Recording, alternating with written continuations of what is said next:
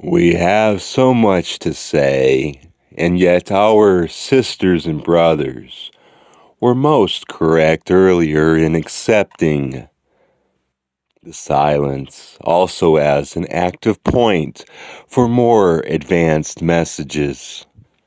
We do not wish to bore you with speeches.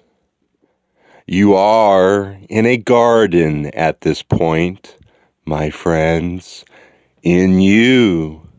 Holy works, it is called the Garden of Eden, and in the garden there is perfection, there is safety, there is protection against all, against each, against every possible evil, for indeed, my friends, within the Garden of Eden there is no evil.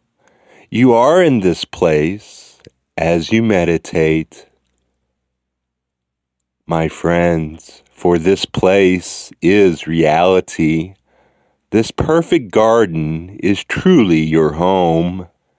My friends, take this high place, this garden, this home, and live in it in your mind. Not just in meditation, but always Keep it close. Reach for it. Move into it. Keep it by you. Use it. Live in it. Become one with the garden, for this is your true identity, and in this realization, your shining beauty will give grace and happiness to many.